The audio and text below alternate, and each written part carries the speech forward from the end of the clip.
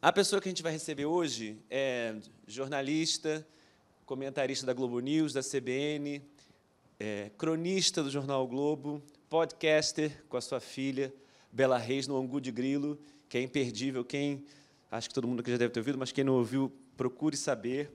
E tem uma lista aqui de conselheiro, ela é, integra conselho deliberativo de algumas instituições. Eu vou ler para não, não perder nenhuma.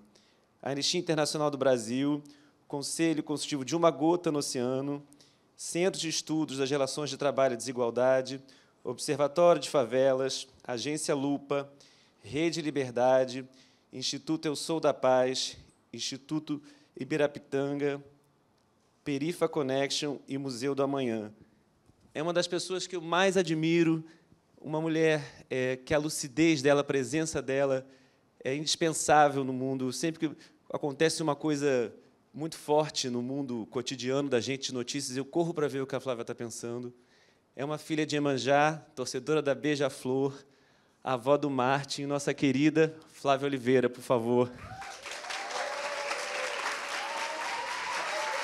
Ei!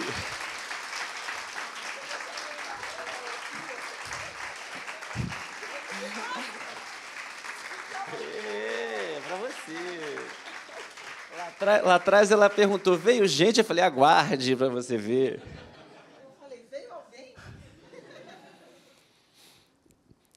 Boa tarde, Flávia, que bom.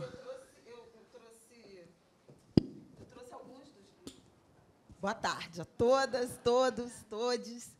Eu trouxe alguns dos livros, eu estou com esse sacolão aqui, porque eu trouxe um casaco, alguns dos livros. Sim. Meu celular, porque eu esqueço os nomes das coisas, então, se precisar fazer uma pesquisa rápida, dá tempo. Caneta e remédio de nariz. Não falta nada, então. Uma alegria estar aqui. Uma alegria estar com você. É, queria já de cara te agradecer por essa apresentação tão generosa, tão amorosa. E para mim vir aqui é sempre uma emoção.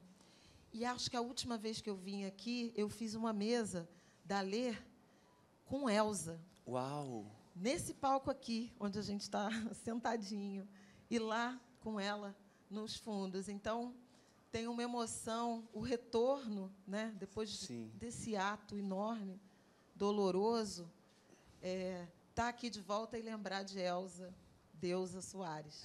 Uma salva de palmas para a dona Elsa. Elsa. Eterna. Mas eu que te agradeço muito. Eu sei da dificuldade da sua agenda e você está aqui. É uma honra enorme para mim, para o Parque de Ideias. A gente queria muito. E, e essa conversa a partir de, de- da literatura, porque é isso. assim, As suas ideias, o seu pensamento, ele está tão presente no nosso cotidiano e é tão importante te ouvir. E a, a entrevista do, sua no Mano Brown também, que foi uma, um- uma coisa muito surpreendente, porque a gente conheceu Foi uma babado, né? uma Viralizou num é, a gente- mas é porque a gente te conheceu também num outro ponto de vista e que foi muito que assim só reitera a nossa admiração por você, por sua história. Então você está aqui hoje, a gente começar a conversar também a partir de livros é um- uma honra enorme. Obrigado mesmo por ter vindo. E aí eu queria começar dizendo o seguinte: a brincadeira aqui são 10 livros, mas Flávio Oliveira falou: Márcio, eu não consegui parar em 10, eu estou em 15. Tudo bem? Aí, Eu tenho uma enorme dificuldade com ranking, com listas, com escolhas. e eu não Eu sei tenho dizer- Vênus em Gêmeos. Ah, então. Eu também tenho. então, é Eu difícil também. escolher. A gente tem do- Dez. Leão, Leão, Vênus em Gêmeos, Vênus em Gêmeos, nós dois. E, e eu falei, eu não sei dizer não para Flávia Oliveira. Vamos de 15 livros, a gente vai no fluxo das águas e vai entendendo. E aí eu pensei da gente começar por dois livros que você inaugura o gênero escolha aqui. Você foi a primeira pessoa a trazer uma fotobiografia e a primeira pessoa a trazer um dicionário Pois para o é. ilustre leitor. Eu queria que você Eu fiquei começasse. emocionada com isso, de ser a primeira a trazer um dicionário. A fotobiografia tem razões eh, muito específicas, né? Eh, que tem relação com a minha história de mulher negra, suburbana, pobre. Né? A, minha, a Isabela, minha filha, fala: se tivesse cota na época que minha mãe entrou na universidade, ela seria por renda, por escola pública e por cor. Então, é, a minha origem é inequívoca, né, de uma família de baixa renda. E não faz tanto tempo esse livro, é, o Chico da, da fotobiografia do Chico Buarque, Revela-te, que eu recebi. Ele é de 2019, talvez, 2020, Sim. né? E quando é, eu comecei a folhear esse livro, é, a sequência de imagens de uma vida inteiramente documentada me marcou profundamente. Me jogou lá para trás falando: não tenho essa eu não tenho esses registros de memória. E acho que isso é uma coisa que atravessa muito famílias negras, né? É, famílias periféricas, suburbanas, da Zona Norte, faveladas, como a gente queira chamar, e especialmente os nossos mais velhos. Sim. O Chico é um homem que está prestes a completar 80 anos, com uma vida documentada em imagens desde bebê desde que nasceu. Sim. Eu não tenho essas imagens da minha mãe, que seria contemporânea. Né? Se o Chico é de 43, 44, minha mãe era de 35. É... E aí, é, esse livro eu quis trazer para chamar a atenção para a relevância da imagem, dessa materialidade. No Mano Brown, eu falei de outra materialidade, né? dos Sim. túmulos, um papo meio mórbido mas que é importante do ponto de vista de é, assegurar, comprovar a sua existência. Sim. A existência das pessoas pretas no, no Brasil, ela é posta em dúvida por falta de registros de memória. Mas a possibilidade de memória é um debate de raça e de classe. Por isso esse livro.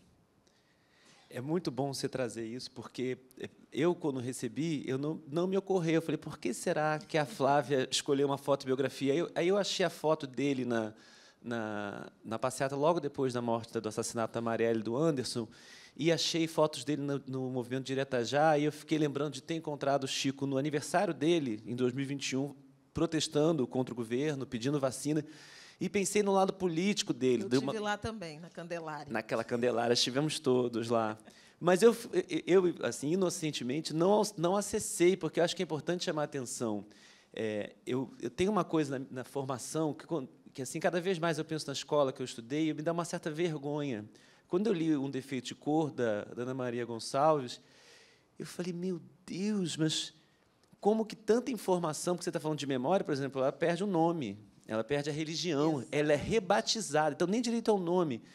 E isso me dá uma certa vergonha da educação, porque eu, teoricamente estudei numa escola boa, renomada, etc. E, e esse tipo de reflexão que você traz no, no, primeiro livro, numa conversa, por isso que eu falo que é tão, eu fico tão importante em te ouvir nesse letramento racial que tem, chega para nós também, porque senão a gente não acessa essa questão da memória. Só quem viveu e só quem pega e faz essa comparação é que eu acho que pode é, chamar atenção para esse tipo de coisa. É, eu acho. É, nos, nos foi, né, e nos é, felizmente, crescentemente, cada vez menos, né, mas nos foi sonegado muito da nossa história né, e muita da brutalidade a que o povo negro foi submetido. Sim. A gente, de fato, nos últimos anos, nas últimas duas décadas, podemos falar disso, a partir da, uh, da Conferência de Durban, que foi em 2001, e, e aí eh, se aprofunda né, o debate sobre políticas uh, de ação afirmativa, um debate mais franco né, é, e mais amplo do ponto de vista do, do, racismo, do enfrentamento ao racismo brasileiro, mas tem muito muitos episódios, tem muita história não contada. Aliás, Defeitos de Cor era um livro que poderia estar nessa lista, Sim. né? porque ele também uh, é, é, marcado por um. Uh, é um romance, é uma ficção histórica né, é. reconstituída, que também é um pouco essa, essa ideia que nos atravessa. Existiu ou não existiu, dado que não tem foto, dado que não tem documento, dado que tem um fragmento? Essa figura existiu ou essa figura é uh, um conjunto de memórias que encarnaram nessa figura, mas na verdade a história de muitas mulheres. E as nossas mulheres são as nossas é, as nossas histórias são muito assemelhadas, né? Essa isso que você citou, por exemplo, do, do Brown, do, do mano a mano, tem a ver com isso, né? Tem a ver com algumas histórias histórias de mulheres negras e de homens negros, né, no caso dele, dessas famílias serem é, quase monotonamente repetitivas. E aí eu escolhi esse em particular por conta é, do privilégio que é no Brasil, se a gente pensar num octogenário, um privilégio branco é, da história desse Brasil. Eu tenho algumas fotos de a partir da minha do meu início da vida adulta, que foi quando eu comprei minha primeira máquina fotográfica, já trabalhava, já tinha feito faculdade, e aí tinha aquela máquina de filme mesmo, Sim. né? E, e, eu vejo muita gente da minha família, dos meus, do meu círculo, falando assim: você não tem uma foto, tá, tá, tá, do aniversário tal? Por quê? Porque isso não estava posto, porque era caro né? fazer uma foto, ter uma foto. Então, você vai ter a foto do casamento, você vai ter, eventualmente, a foto é, da primeira comunhão. Né? É. Eu tenho uma foto da primeira comunhão da minha mãe. Mas não tem uma foto de infância dela. Né? E o Chico tem, então não é um problema, né? é, uma, é uma questão do Brasil. Eu, Chico, eu te amo. Não é, não é sobre não é você. Pessoal, claro. não é sobre você. Inclusive, você me chamou a atenção para um ponto super importante, que é essa coerência, né? Uma vida documentada e coerente, Sim. do ponto de vista artístico, político, familiar, né? É...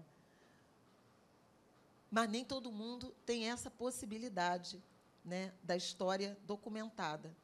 Então era isso que eu queria sublinhar Chamar ao atenção. trazer o... E seu dicionário? Por ah. que, que você...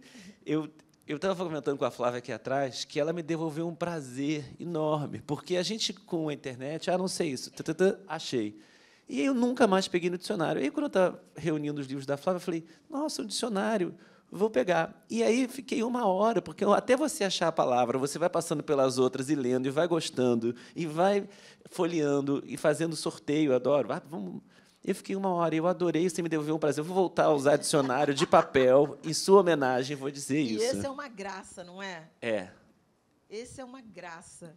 Esse é o de sinônimos e antônimos. Eu uso muito dicionário. Eu tenho uma prateleira do lado do meu espaço de trabalho, no meu Saravá Estúdio, que vocês já conhecem, conhecem da, a partir da pandemia, todo mundo conhece um pouco do meu espaço de trabalhar em casa. É uma prateleira da estante que fica do lado é, da bancada onde eu escrevo, ela tem vários dicionários. UAS, é, dicionários de economia e negócios, dicionário Urubá, dicionário de sonhos, que é uma herança que eu tenho da minha mãe. Tem vários. Mas eu quis trazer esse porque é, eu sou uma, uma operária da palavra. Né? É, eu vivo da palavra, seja escrevendo no jornal, seja falando no rádio, seja na TV é, com tempo, tempo cronometrado é, ou com espaço é, demarcado. Então, eu tenho uma certa obsessão pela precisão na escolha das palavras. E o dicionário me ajuda nisso. Não quero repetir palavra. Eu nem leio o que eu escrevo, porque eu vou sempre achar que tem alguma coisa. Não leio, nem me assisto. Tenho várias questões com isso que aí é para o divã, não é para cá, para a biblioteca. Mas eu adoro esse dicionário em particular, porque ele me ajuda, é um dicionário de sinônimos e antônimos. Ele me ajuda a escolher, e a riqueza da língua portuguesa também me fascina. Parte do fascínio que eu tenho por Maria Bethânia tem a ver, você sabe, né? Sim. É, o Márcio dirigiu Fevereiros, documentário maravilhoso. E depois teve um show da Betânia dedicado a celebrar Fevereiros. Estou eu fazendo seu comercial, mas é que é maravilhoso. Obrigado.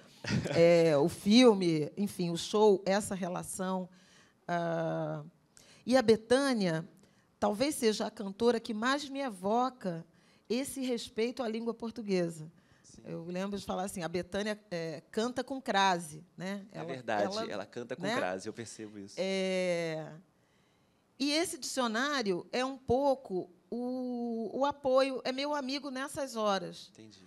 Não é essa exatamente essa palavra que eu quero usar. Então eu vou nele para achar um sinônimo, ou então eu quero falar que é o oposto de tal coisa. Às vezes eu até escrevo é o avesso de tal coisa, né, em vez de oposto. É, ele já me ajuda nisso, oposto, avesso, e me ajuda a encontrar a ideia, a palavra precisa no leque de possibilidades que a, que a língua portuguesa nos oferece. Né? O português é uma língua muito rica em termos de quantidade de palavras e de verbos que podem é, expressar determinadas ideias com, muita, com muito rigor. Então, esse aí, eu, eu indiquei esse, porque eu gosto muito dessa ideia é, de brincar com as palavras sinônimos e, e antônimos, mas eu uso o dicionarião, aquele que é quase um papel seda, né, de Sim. tão fininho, e uso o de verbos também, porque busco também no, os verbos, as conjugações, os tempos e os, e os verbos é, assemelhados.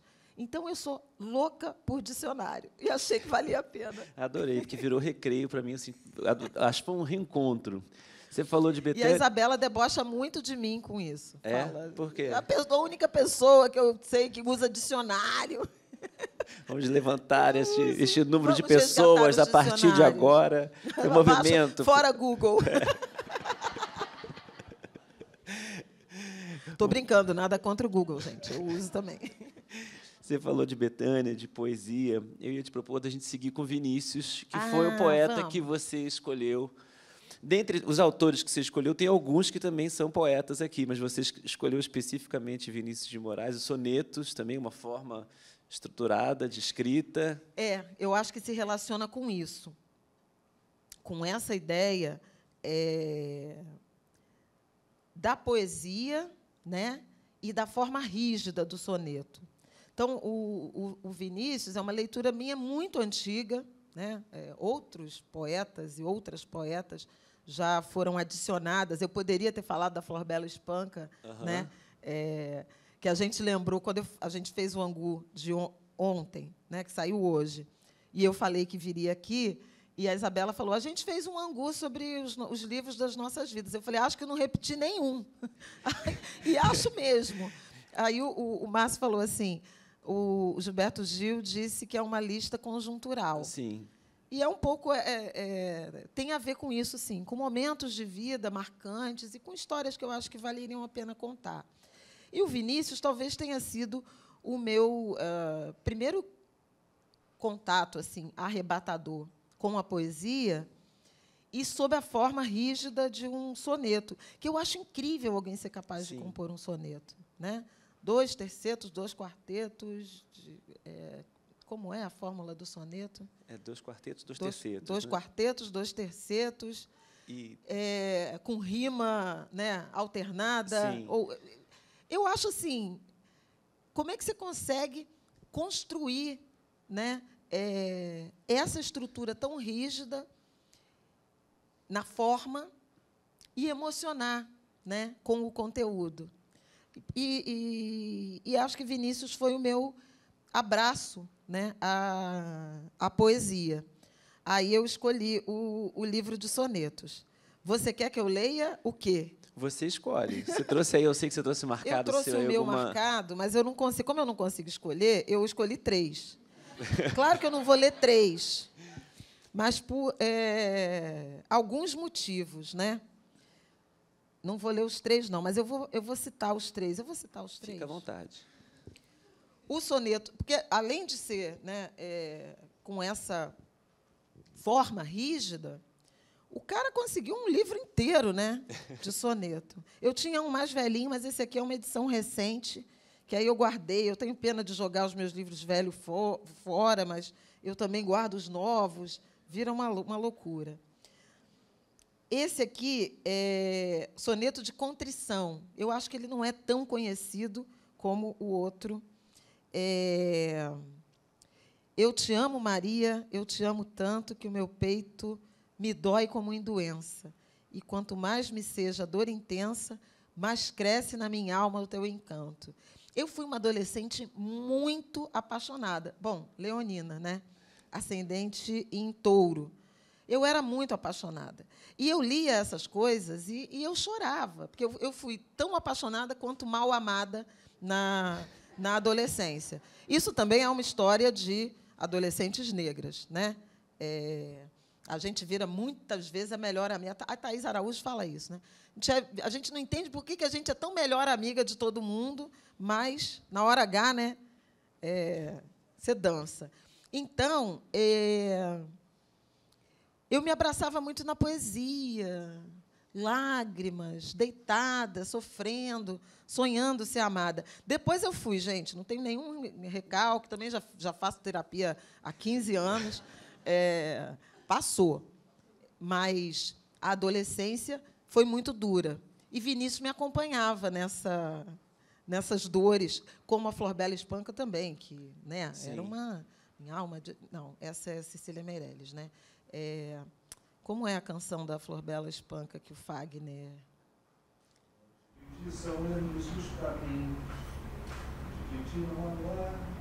é essa? Longe de ti a noite silenciosa é. Não faz assim que eu posso até me apaixonar.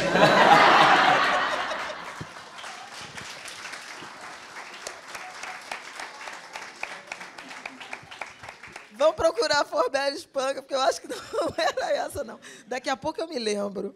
Vamos voltar para o Vinícius. Cultura popular também, também traçamos, viu, gente? É, o outro, que não é também não vou ler todo, é o soneto de separação, que o Márcio até comentou. Esse aí a gente é capaz de falar uh, de cor, porque é, é todo um, mundo um, estudou. Poeta, um poema popular, né? acho que as pessoas sabem falar esse poema. Um soneto popular. É. Isso é muito impressionante, gente. Sim. É um soneto popular, né? De repente, do riso fez-se o pranto, silencioso e branco como a bruma, e das bocas unidas fez-se a espuma, e das mãos espalmadas fez-se o espanto. De repente, da calma fez-se o vento, que dos olhos desfez a última chama, e da paixão fez-se o pressentimento, e do momento imóvel fez-se um drama. Entende por que eu leio o dicionário? Porque essas escolhas né, de palavras, só o dicionário. Mas o que eu quero, eu acho que ler todo, é um poema zoeira do Vinícius. Um soneto zoeira, que eu acho é absolutamente sensacional e é uma o final dele é uma expressão que eu uso muito então é, entra na categoria né marcante. Não como não comerei da alface a verde pétala. Não comerei da alface a verde pétala nem da cenoura as hóstias desbotadas. Deixarei as pastagens às manadas e a quem mais aprouver fazer dieta. Cajus hei de chupar, mangas e espadas, talvez pouco elegantes para um poeta. Mas peras e maçãs deixo-as ao esteta, que acredita no cromo das saladas. Não nasci ruminante como os bois, nem como os coelhos roedor. Nasci omnívoro, dei-me feijão com arroz, e um bife, e um queijo forte, e para ti, e eu morrerei feliz do coração de ter vivido sem comer em vão. Gente, isso é maravilhoso demais. Porque você subverte o tema né, do, do poema. Depois que você sofre tudo daqueles amores todos, do amor Sim. maior, do amor como um rio, da separação, da contrição, aí não comerei da alface a verde pétala. Tira a é alface, me dá uma paratinha, um bom bife. me né? dá uma cachaça, um sim, bife, feijão sim. com arroz. Então, acho maravilhoso. É, a ideia de um livro de sonetos e, e Vinícius me apresentou a essa, a essa possibilidade. Embora eu tenha arranhado poesias nada naquela adolescência tomada de lágrimas, mas ficou, ficou lá, ficou parada lá.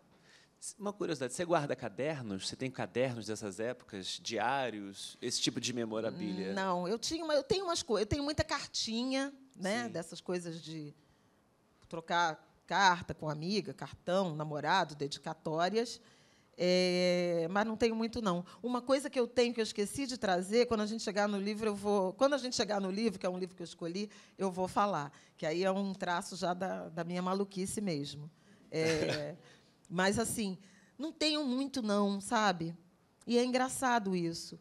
É, eu não tenho disciplina de escrever, de guardar o, o Aida, meu marido, tem um, uma parte da estante que é com rigorosamente tudo que ele já escreveu na vida. De nota de coluna a reportagens, revistas. Eu não tenho nada, eu tenho as três coisas. Eu falo assim, se algum dia acharem que a minha biografia vale a pena, essa pessoa vai ter muito trabalho de investigar, porque eu não tenho é, essa disciplina né, de guardar. E é até contraditório para quem fala e preza tanto pela memória e pela materialidade Sim. da memória. Sim. E vamos passar para o nosso querido. Ah, vamos. Hoje é Dia Nacional das Tradições Africanas. Primeira vez. De africanas e das nações de candomblé. Sim. Prime... Axé. Axé. Axé. Axé. Primeiro ano que se comemora, né? O Lula assinou essa lei 5 de janeiro. Exatamente. É... Hoje é o dia é, internacional de eliminação da discriminação racial, é uma data ONU, o 21 de março, é, remete àquele massacre na África do Sul do apartheid, e é, houve essa. Também foi no 21 de março, que 20 anos atrás foi criada a Secretaria de Promoção das Políticas de Igualdade Racial, que é o embrião, a iniciativa é, inaugural que deu no Ministério da Igualdade Racial. Agora, e é, essa data incorporou a agenda de enfrentamento à intolerância religiosa.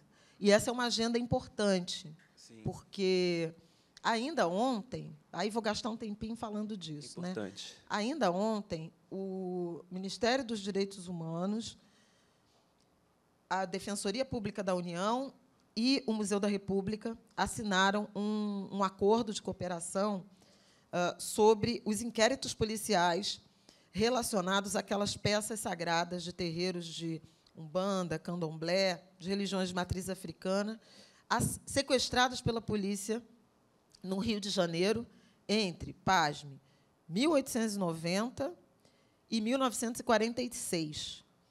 É, essas peças agora compõem o acervo Nosso Sagrado.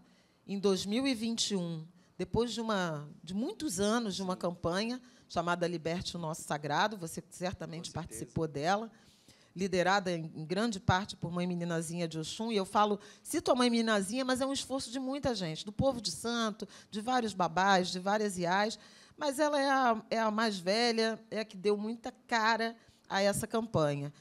E, depois de anos de campanha, os arquivos, as peças que estavam depositadas e abandonadas no Museu da Polícia Civil do Rio de Janeiro, com o nome de Coleção Magia Negra, foram, uh, foi transportada para o Museu da República é, e rebatizada, e agora acho que formalmente, como acervo nosso sagrado. São peças lindíssimas, ainda não estão, mas estarão daqui a um, um tempo, eu espero que o mais breve possível, em exposição é, peças e fragmentos.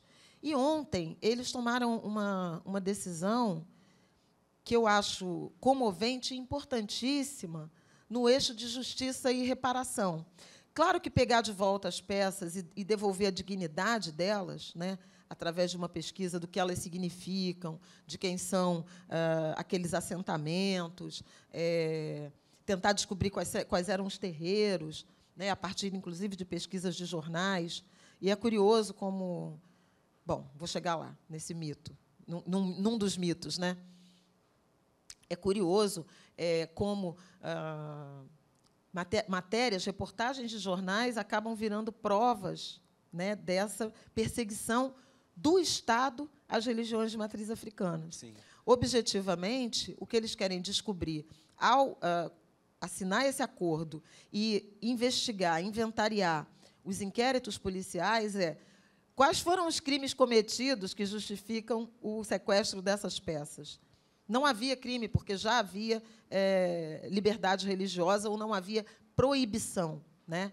É, e, portanto, eles são evidências da perseguição do Estado, ou seja, crimes cometidos pelo Estado contra a liberdade religiosa. Então, é um eixo de verdade e reparação importante, justiça, verdade e reparação, que é essa, essa busca né, da verdadeira história. Por que essas peças foram sequestradas pelas, pela polícia? E hoje a gente se pergunta isso. Por que a polícia matou determinados jovens naquela favela naquele dia? Por que invadiu aquela casa e profanou aquele ambiente? Por que determinadas pessoas foram presas e estão sem julgamento, sem inquérito concluído? Por que crimes cometidos contra a população, crianças, mulheres, é, jovens negros, não foram investigados, esses inquéritos não andavam uh, adiante, não andaram uh, uh, para frente. E aí significa que, mesmo as coisas que não andam, quando estão registradas, elas nos contam uma história. Sim. Nesse caso, uma história de desrespeito do Estado, porque a polícia é Estado, né?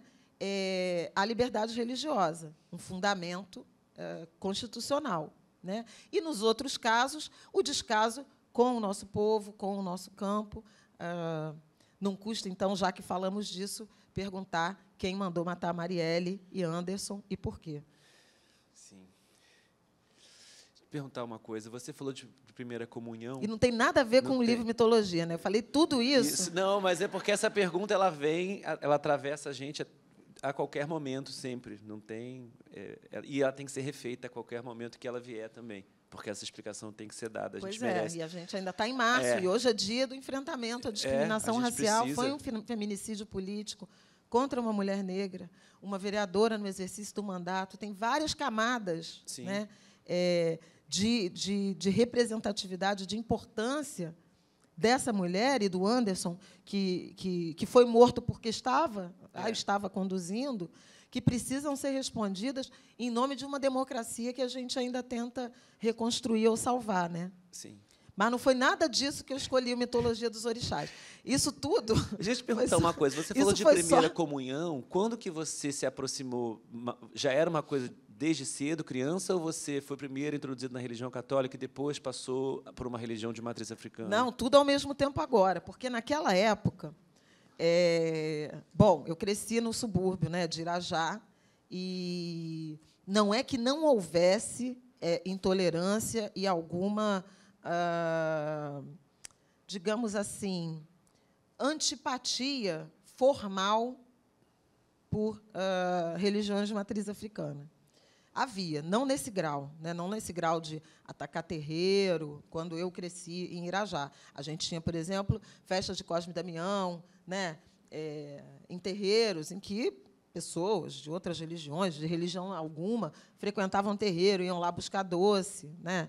É, tem um pouco de, desse amálgama né, de relações, de tradições religiosas ou de ritos religiosos que são transformados em uh, tradições culturais. Cosme Damião é um exemplo, Feijoada de São Jorge é outro, é, o vestir branco no Réveillon, para quem não sabe, é Iemanjá, gente. Sinto muito. É a paz, não sei o quê, a paz, a paz de Iemanjá. Que, se, que fique claro. Sim. Né? É, então, é, foi tudo ao mesmo tempo. A minha mãe veio da Bahia. A minha mãe, é, a Bahia já tinha essa tradição. Inclusive, muitos terreiros de candomblé tinham a tradição de conduzir as iaôs, os inicia as iniciadas, os iniciados, até uma igreja católica quando saíam do recolhimento é, de fazer santo, né, das suas obrigações de iniciação.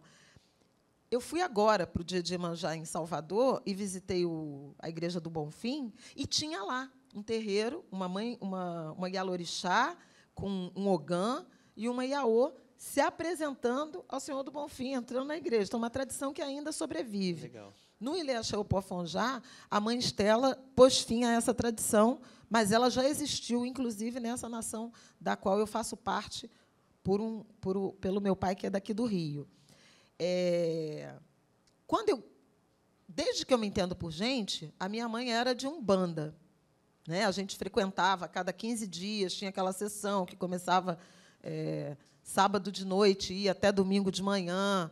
É, eu lembro, inclusive, do meu pai acompanhar, porque a minha mãe era é, Iaô, ela incorporava, então o meu pai ficava comigo pequena. Eu tenho todas essas memórias. Mas essa mesma mulher me obrigou a fazer primeira comunhão e eu tive um período muito católico, de ir à igreja todo domingo, à missa das dez, é, ser uma professorinha de catecismo e indo na macumba. Não tinha, era tudo, tudo junto. Né? É, inclusive porque um, Umbanda tem muito essa correlação com os é. santos católicos. E até hoje eu tenho é, profunda devoção.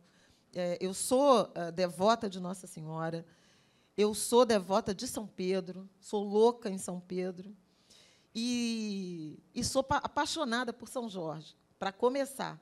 Viajo e visito igrejas, acho o ritual católico belíssimo. Mas, mais tarde, é, eu fui escolhida pelo candomblé. Né? Eu não sou de Umbanda, eu sou de candomblé. É, Iemanjá me escolheu, e você não, não diz não. Então, eu tenho respeito, é, devoção. Quando a minha filha ficou muito doente, aos 15 anos, 14, 15 anos de idade, eu me apeguei muito à Nossa Senhora, por, pelo sentido de maternidade, por esse mito de maternidade. Né? Essa semana escrevi domingo sobre a Sagrada Família, que eu vejo uma beleza imensa na Sagrada Família. Espero não estar é, violando nenhum dogma, mas é que eu olho Nossa Senhora, São José e o Menino, Jesus e vejo uma mãe solo uhum. e vejo um padrasto acolhedor, um pai adotivo, não biológico. E eu acho isso lindo, esse mistério. Né? Reverencio São José também por isso, por esse homem que eu acho que todo homem deveria ser. Abraçar uma mulher e ser capaz de fugir com, essa, com ela, né?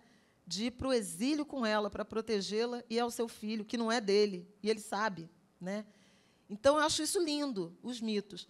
E por isso eu trouxe os mitos iorubais, porque são de imensa beleza e profundo desconhecimento num país como o Brasil. E veja, gente, aqui não é proselitismo religioso. Eu sou de candomblé, amo a minha religião, uh, pratico, sigo, estudo, leio, converso.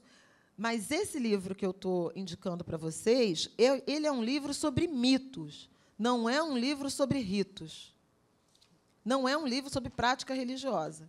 É um livro sobre histórias filosóficas. Não, não, são? São. Informa um pouco de poesia, né? são meio versos, mas que trazem é, saberes, sabedorias ancestrais que nos ensinam muita coisa. Né? É, assim como eu falei, por exemplo, é, do mito da Sagrada Família, é, e o tanto que eles nos ensinam, esse livro do Prandi, que tem gente que acha que ah, ele é incompleto, ele é uma pesquisa né, de um, de um uh, antropólogo que entrevistou muita gente, reuniu várias dessas histórias, se propôs a, a catalogar, a, do, a, documentar, a materializar essas Sim. histórias que passam é, na oralidade né, de, de, de modo geral. Mas ele tem mitos belíssimos que nos ensinam muito, né? É, e por isso eu quis indicar e indico muito a pessoas que querem entender é, de saberes africanos, né, de origem africana. Esse aqui é um corte, tem muitos outros. Eu acho que ele não pretendia esgotar, se a crítica que se faz é, é, é a, a ambição, mas eu não sei se ele tinha a ambição. Né? O que ele conta é uma história de mitos eh, da criação do mundo, de mitos de afeto, de cuidado, de rivalidade, de inveja, todos os sentimentos né, e situações que nos atravessam. Você gostou de um, eu gostei de outro. Não, vai no seu. O que, que a você... gente faz? Não, vai no seu, que você é, é, é a, a pessoa que tem que indicar aqui. Eu, o que eu indiquei, enquanto você procura aí, foi porque eu estava ouvindo o Angu de Grilo e a Flávia falando da, da Glória Maria, das filhas da Glória Maria, falando do, do papel da, da mãe, dos diversas configurações familiares em que a mãe a família é formada, a mãe sozinha cuidando, a mãe com várias pessoas em torno, a aldeia cuidando de um filho. E aí você, você trouxe esse mito é, da Iemanjá cuidando de um mulu que tinha sido, que é filho de Nanã e foi abandonado por Nanã. Isso. E, eu, e você falou, está vendo como isso já está no mito? Uma mãe, mas já pegou o filho de outro para cuidar e para curar, e olha a beleza de um mulu. E eu achei lindo você trazer esse ponto de vista, por isso que, que, eu, te, que eu te sugeri. É toda uma é beleza. Lindo, é lindo. Não, e minha mãe é manjar, pelo amor de Deus. Eu não vou dar as. Meu pai é o Baloaê, meu pai é o Molu, minha mãe é eu manjar. Eu também pensei nisso, por isso que eu sugeri. eu não posso dar as costas para esse mito, né? de jeito nenhum. E, na verdade, ele vai se relacionar com isso que a gente está falando sobre arranjos familiares. Sim. Né? É, esse também é um traço, não só da minha, é, da minha cidadania, né? mas também meu objeto de pesquisa, de estudo, de escrita, a forma como ah, desvirtuam o sentido de família, o conceito de família, como se como sequestram né, e, e, e, tratam levianamente o significado de família. Eu sou filha única né, de uma mãe é, largada do marido, era assim que se falava nos anos 70, 80, é, que tenho uma relação familiar ampla, não biológica. Né? A Ana Cristina é minha irmã, é minha irmã. Eu falei isso no Brau Sim. e repito aqui. Né? Então, Paulinho é meu sobrinho. As pessoas querem cobrar um parentesco. Cadê a certidão de nascimento? Cadê o DNA? É, pode até ser que tenha, viu? Porque em Irajá tudo acontecia. né? Irajá é nossa maconda. Mas até aqui é, não, não foi descoberto. E eu sou fruto desse arranjo né, de relações comunitárias que se tornam parentescos. Os terreiros de Umbanda, de Candomblé, são relações religiosas e comunitárias que viram parentescos. A gente fala mãe de santo, irmão. pai de santo, irmão de santo, tio de santo, o que você quiser de santo. Então, é, é a recomposição de uh, arranjos familiares, estruturas familiares rompidas, fragmentadas é, fraturadas pelo racismo do modelo é, colonial. E estava tudo nos mitos. Né? Não, é, não é mãe só quem pariu. Né? Quem pariu pode não ser mãe, pode não amar ou não ter a capacidade de amar desse, é, é com essa intensidade. E outra mãe pode assumir os cuidados. E é sobre isso o, o mito que você escolheu. O Molu ganha as pérolas de Iemanjá. E, e é bonito, eu reli depois que você me mandou a mensagem, e ele é bonito por mais coisas, né? Pelo, pela, pelas várias camadas de cuidado. O Molu foi salvo por Iemanjá quando sua mãe, Nanã, ao vê-lo doente, coberto de chagas, purulento, ele tinha varíola, né? O mito é esse. Abandonou numa gruta perto da praia. Iemanjá recolheu o Molu e o lavou com a água do mar. O sal da água secou suas feridas, o Molu tornou-se um homem vigoroso, mas ainda carregava as cicatrizes, as marcas feias da varíola. Iemanjá confeccionou para ele uma roupa toda de ráfia. É a palha, né? Vocês sabem que, Iemanjá, que o Omolu é o orixá que se veste de palha, você não vê o rosto, nem o corpo. Iemanjá confe confeccionou para ele uma roupa toda de ráfia, e com ela ele escondia as marcas de suas doenças. Ele era um homem poderoso, andava pelas aldeias e por onde passava, deixava um rastro, hora de cura, hora de saúde, hora de doença, é o orixá da cura. Mas continuava sendo um homem pobre. Iemanjá não se conformava com a pobreza do filho adotivo. E pensou: se eu der a ele, se eu dei a ele a cura, a saúde, não posso deixar que seja sempre um homem pobre. Ela ficou pensando em, nas suas várias é, riquezas e quando foi ver suas joias, eu estou encurtando aqui. Ela tinha algumas joias, mas ela se enfeitava mesmo era com algas. E é, se enfeitava com a água do mar, vestia-se de espuma. Ela se adornava com o reflexo de Oxu, a lua. Mas Iemanjá tinha uma grande riqueza, e essa riqueza eram as pérolas. Iemanjá, muito contente com sua lembrança, chamou Molu e lhe disse: De hoje em diante, És tu quem cuida das pérolas do mar. Serás assim chamado de o Senhor das pérolas. Por isso as pérolas pertencem ao Molu. Por baixo de sua roupa de ráfia, enfeitando seu corpo marcado de chagas, o Molu ostenta colares e mais colares de pérolas. Belíssimos colares. Não é lindo isso? E tem muitas camadas. A camada do abandono da mãe original, e o acolhimento de uma outra mãe não biológica. E as camadas de cuidado que essa mãe não biológica é capaz de emprestar a esse filho. Né? Primeiro a cura, depois o, o, o disfarce, né? pela marcação, pela perseguição, pela, pela estigmatização que as feridas representam. E depois, é, pelo, pela prosperidade, pelo sustento, pela, pela riqueza. Então, são muitas camadas de cuidado. Né? E acho que as mulheres têm, têm toda, carregam essas atribuições. E, eventualmente, para filhos biológicos e, eventualmente, para não biológicos. Né? É, foi uma mãe que se ocupou de um filho durante a trajetória inteira. Não foi suficiente só curar a doença que ele tenha, transformá-lo num homem, vesti-lo, mas tinha que também transformar a ferida em pérolas. E a gente não dá pérola aos porcos, não é isso que o ditado diz? Sim. A gente dá pérolas às nossas riquezas. É lindo. Eu te agradeço muito por você ter lembrado, é, evocado esse mito, mas vou falar outro vamos, rapidinho. Vamos falar o é, é Joshaguian que você trouxe também? É um mito de Joshaguian que eu gosto muito, porque e eu acho que tem, e é muito político. Já falei de família, também no sentido político, né? Não, não deixou de ser uma definição política de família.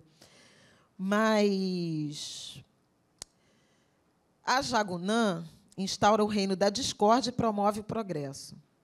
Oludumare dividiu seus, com seus filhos orixás a difícil incumbência de governar o mundo.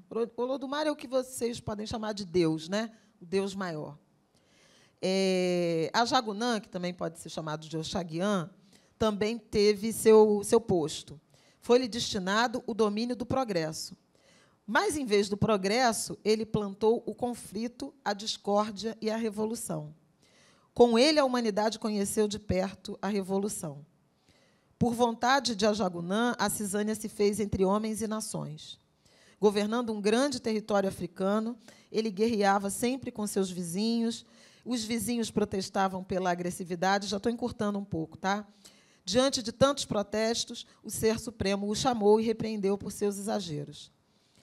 Ele contestou, dizendo que seu pai vivia confortavelmente, sempre sentado na mesma cômoda posição não se dando conta do furor transformador que a discórdia de Ajagunã gerava na terra. Ele seguiu guerreando, fazendo do cotidiano dos povos um pandemônio, até que um dia Olofim tirou-lhe o reino e o baniu para um distante continente. No exílio, ele encontrou um povo que vivia em paz, e isso o enlouqueceu. Rapidamente criou discórdia entre aquelas tribos e a guerra se instalou no país. Tanta guerra fez que ela voltou a se espalhar mundo afora. Olodumare chamou de novo o filho e pediu-lhe que repensasse sua forma de agir. Ele disse que a discórdia era necessária para o progresso. Somente daquela forma o ser humano criaria anseios de crescer e conquistar novos caminhos. Sim, ele estava exercendo a função que o pai lhe atribuíra. E defendeu-se. O Supremo Criador aceitou as explicações. O mundo continuou a guerrear o mundo continua a progredir e a Jagunã não para nem para descansar. Gente, eu acho super importante esse mito que contém a ideia da superação do marasmo, da preguiça e da acomodação. Então, é claro que um mito ele carrega nas tintas, é ele é exagerado. Mas por trás desse, desse mito está é, a disputa pelo progresso. Progresso no sentido de melhoria de vida, de construção do bem viver, do bem-estar. Então, se você se acomoda, é, fica resignado, você não avança. Então, esse princípio de promover a discórdia, que aí eu vou chamar de debate, para avançar, é absolutamente fundamental e está assentado na ideia de construção democrática, de enfrentamento à desigualdade, de enfrentamento à intolerância. Então, irmãos, é preciso coragem, né? É, de eventualmente se expor e fazer a guerra. Não no sentido da guerra, matar um, matar outro. Não é, não é sobre isso. É sobre entrar nas disputas com o sentimento é, e a convicção de que é assim que a gente melhora na disputa, no debate, no enfrentamento de ideias, na construção, uh, na desconstrução e na reconstrução, ou na desconstrução e na construção. Por isso que eu gosto tanto desse mito. Esse livro é uma delícia, gente. Esse livro aqui é cabeceira, né? Sim. Tu pode acordar e ler um negócio assim do nada e sente uns recados. Ou, eventualmente, para escrever, por exemplo, sobre situações como os familiares que eu relatei ou essa da disputa de ideias, né, é, evocar uma mitologia que devia estar muito, muito próxima da gente e não está. Sim. Não, esse livro é de consulta, né? Ele está sempre descendo da estante. É que nem o nunca... dicionário. É. Vamos para é outro orixá? Dona Conceição Evaristo? Ah, Oxum? Essa Olha... é o Oxum da nossa vida. Eu Olhos achei tão interessante que ela mesma escolheu também, né? Ela escolheu, esse livro é. quando ela veio. É, ela, ela sabe, eu já falei várias vezes que Olhos d'Água é o meu livro preferido da Conceição, porque ele me evoca muito. Ela fala uma coisa da cor dos olhos da mãe, né? E, e ela me evoca muito esse sentido é, de uma saudade até Sabe, Márcio? Sim. Da, da minha mãe. De, saudade de ser filha. É eu, eu fiquei muito tempo. É, e até hoje não sei bem como conjugar esse verbo. Se eu sou filha única, se eu fui filha única. Porque a, a orfandade é uma coisa que é, é, é, é, é irreparável. Né? Você não é mais ao mesmo tempo que tem o encanto de você, em alguma medida, se ancestralizar ou, ou adentrar a perspectiva né, de, de se tornar ancestral, por ter se tornado a geração encarnada mais velha, Sim. por outro lado, é uma desproteção imensa né, perder a mãe. E, e esse livro, Olhos d'Água, me, me remete a isso. E a Conceição é um encontro também, para mim, amoroso e maternal. Ela foi uma das. Ela foi a amiga que eu. Foi a amizade que eu consolidei mais intensamente na pandemia. Assim, eu, a gente trocou muitas mensagens, a gente se falou muito, de muitos medos, de muito tudo. E era interessante porque é, ela perdeu a mãe né, na pandemia. Sim. E a gente se falou sobre isso. E eu já tinha mais de 10 anos perdido a minha mãe. Então, eu que podia, em alguma medida, ser filha dela, estava consolando. A gente falava de Nanã, Sim. da figura de Nanã, é, de Nossa Senhora, do catolicismo mineiro, né, que é muito marcante para a Conceição. E Olhos d'Água, para mim, eu acho que ele, ele é a Conceição em forma de livro. Sem demérito nenhum de todos os livros dela, mas esse livro ele me alcança assim num, num lugar muito pessoal, esse da, da memória da mãe. Eu, eu vi duas lives que vocês fizeram na pandemia, dois encontros. Um na Flia Araxá, que também é lindíssima aquela conversa. E ela fala uma coisa que eu anotei aqui, porque eu achei bonito dela para você. Ela fala: Você sempre me emociona, como uma filha que leva adiante a minha luta, a minha militância. E era muito bonito esse afeto transbordando a gente na pandemia, sem poder se deslocar ainda, e aquele encontro de vocês duas. E esse livro, é, é o que você falou, a Conceição, na lista de dez livros indicados, ela escolheu o livro dela mesma, que tinha que estar aqui na biblioteca, sem dúvida. E a gente conversou muito. E eu trouxe esse trechinho aqui Isso também da, de Oxum, a cor dos meus, a cor dos olhos de minha mãe era a cor dos olhos de água, dos olhos d'água. Água, águas de mamãe Oxum, rios calmos, mas profundos e enganosos para quem contempla a vida somente pela superfície. Sim, águas de mamãe Oxum. Então é. Minha mãe era de Oxum. Minha filha é de Oxum. Conceição é de Oxum. Eu sou cercada de Oxum. de capricornianas. Eu sou dela também, dela com Yansan. É lindo, juntas, é gente. Uma, é Esse livro é lindo. Esse livro todo mundo tem que ter, sabe? E ele tem essa. Eu não sei, esse sentido desse. Eu ia falar de abraço de mãe, mas é de olhar de mãe, sabe? Um exercício que ela fala de que cor eram os olhos de minha mãe. Né? Do exercício todo de reconstruir essa figura, Sim. esse afeto, esses significados. Ele me alcança muito fortemente. Engraçado que a gente descambou para a mãe. Engraçado não, né? Tu está é... misturando isso aí. Tem uma autora que você escolheu também, a Eliana Alves Cruz, Nada Digo de Ti, que em Ti Não Veja, que eu conheci também pela Conceição, que estava na lista dela, só que ela indicou Solitária que foi um livro que eu li em duas madrugadas, Pancadão. que é uma pancada e que é, tem relação também com a, a, morte do menino Miguel, né, que caiu do, do prédio enquanto sua mãe, a Mirtes, trabalhava, né? E, e, e, o que me chamou a atenção nesse que você indicou é que a, a, a Eliana você come, entra e você não consegue sair. Isso. E eu não quis, não sabia nem como abordar esse livro porque ele tem uma virada logo no começo. Você fala, ah, então é por aqui que ela vai que que é quase difícil de dar spoiler, é. de falar do livro, mas é uma autora que eu, que eu soube também que vocês são amigas, né? E chegou a mim Nós por, somos por... amigas, e a, e a nossa amizade, ela nasceu da Bahia, da busca pela ancestralidade na Bahia. Né? Eu fui em 2016 com a Isabela, era até um projeto de livro, esse que eu nunca realizo. Está ali, tá ali minha amiga. me cobra toda semana, a Mônica. É, eu fui com a Isabela para Cachoeira, né, que é a origem da minha família materna, né, da minha mãe, é, dos meus avós maternos. E, e, lá eu conheci um antropólogo, Cacau Nascimento, que falou assim: tem uma carioca que teve aqui, está fazendo uma pesquisa parecida com isso, veio aqui buscar as origens no, no recôncavo.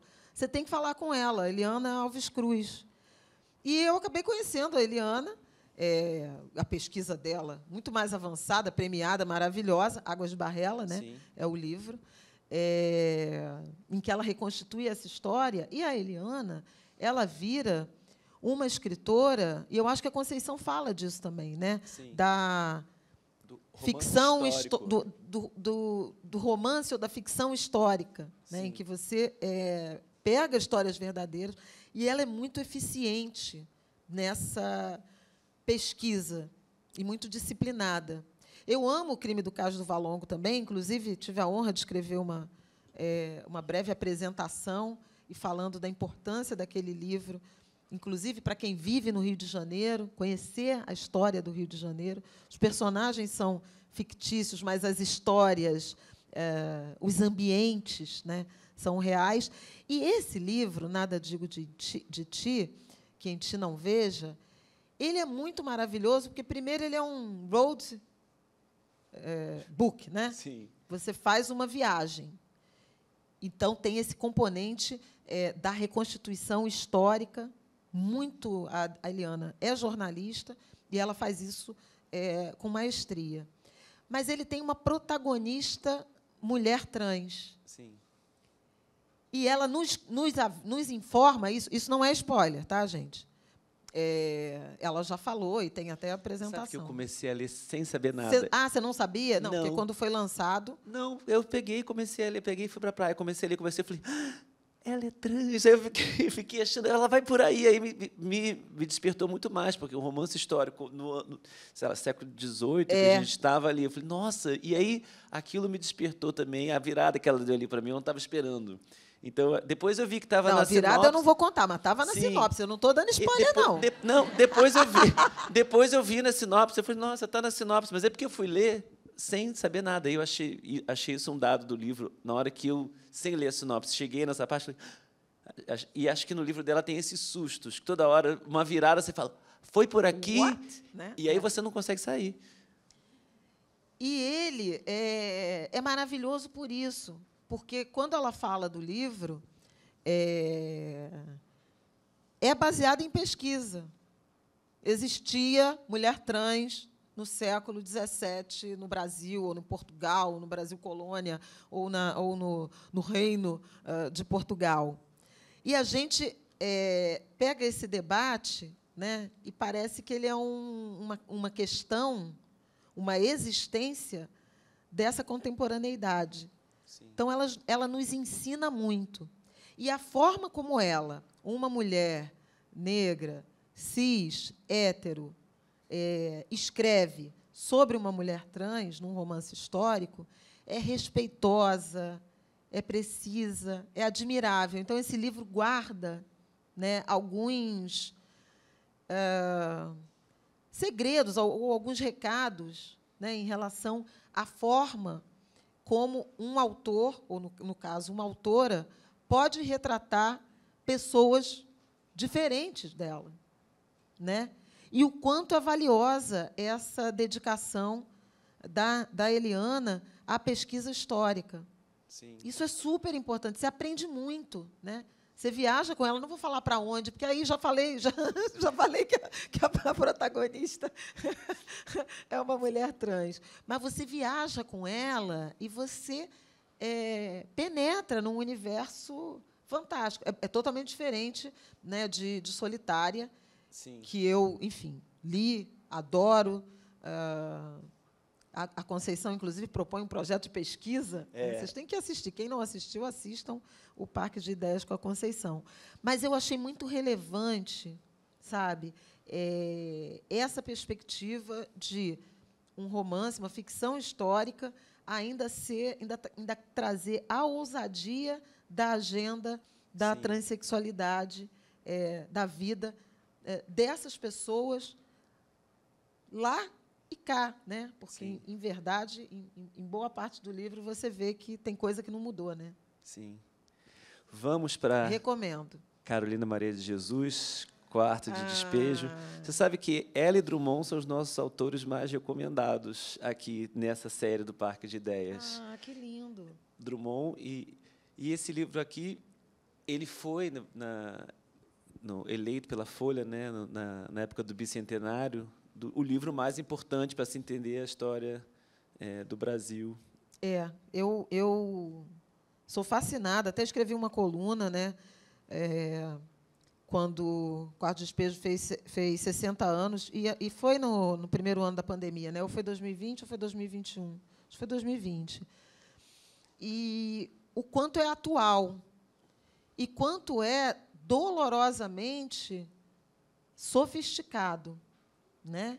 Ele é um diário preciso. Sim. Né? É, a, a Carolina, e a Conceição fala isso muito melhor que eu, e falou também sobre isso. Ela não escolheu o quarto de despejo, ela escolheu o Diário, é, de, diário Betita. de Betita, porque a Conceição ela está muito empenhada. Olha eu falando da Conceição. É, mas... Ela está muito empenhada né, é, em apresentar uma Carolina, em tirar a Carolina do quarto de despejo. Né?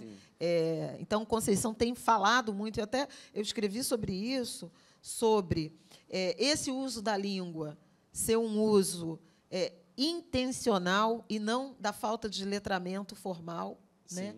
E, e, e, quarto de despejo, ele me, ele me comove pela capacidade de observação né, que, que Carolina tem de observar e de retratar esse cotidiano. Então, ele, ele é um documento histórico. E um documento histórico que, 62 anos depois, está acontecendo de novo. Né? A gente debate isso. Sim. A fome, a mãe solo, que quer alimentar os filhos, mas que faz questão que eles vão para a escola. Essa história é a história de, de do Brasil de 2023, tristemente. E essa mulher teve é, a capacidade né, de é, viver, observar, relatar, se indignar sobre isso. Não é, é não é condescendente. Né? Ela fala devia todo mundo ser, passar fome, quem governa devia passar fome. Ela tem recados Sim. Né, muito muito objetivos e muito atuais. Sim. Então, é um livro obrigatório para entender o Brasil desde sempre.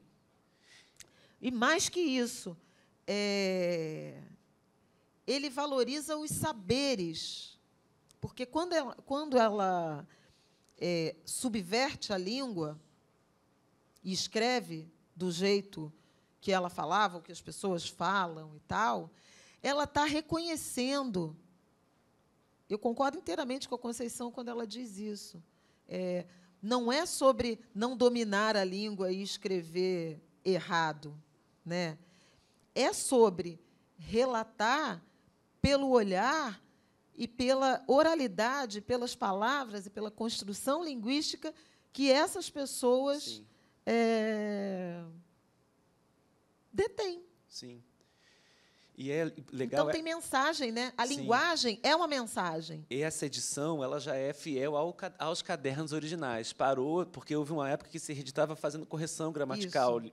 limpando, né, como se estivesse acertando a linguagem dela. Essa não é, e a Conceição está num grupo, né, junto com a Companhia das Letras, para republicação da obra, com esse olhar, com esse cuidado de não subverter a linguagem original. E o pau está comendo em 2023. Muita gente criticando, é verdade. O, o mundo acadêmico, né, os intelectuais. Ah, mas será que deve ser assim? Né? Será que não devia corrigir? Sim. É, a leitura fica muito complicada para quem não sabe ler de, desse jeito, dessa língua. Mas a Conceição faz uma provocação que eu vou repetir aqui e tomar para mim. É... Grande Sertão Veredas, Sim. ninguém faz isso, né? É a genialidade. Então, é, tem racismo também na história. Sim.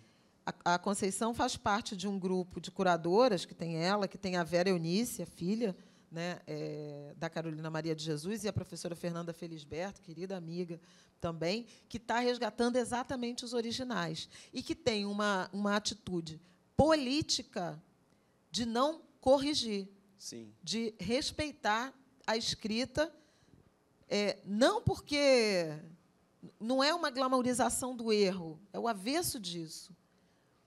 É, é, é valorizar o olhar e a linguagem escolhida para uh, expressar aquele olhar tem uma carga política Sim. importante e, e estética, né? É. O, você, ah, na conversa com ela, vocês falam isso, do Guimarães Rosa ir documentar, gravar a forma como o sertanejo falava. Então, aqueles neologismos e neologismos que a Conceição identifica, tanto em Maria Carolina quanto em Guimarães. A Elisa Lucinda, quando teve aqui, também chamou a atenção. É muito bom a gente pensar sobre isso, porque no Guimarães fica aparecendo sofisticação, Exatamente. pesquisa, e nela é, ficam querendo corrigir. Então, é bom chamar a atenção é, nesse letramento coletivo que a gente precisa todo mundo passar. Esse letramento, aí a gente está falando né, de uma construção de estética, mas da própria imagem. Né? A, a, a Carolina é apresentada como a catadora de papel, né? ou a catadora de lixo que escrevia. E, na verdade, o que ela era era uma escritora que precisou catar papel, sem demérito de catar papel, mas ela não era uma catadora de papel. O que ela era, era uma escritora.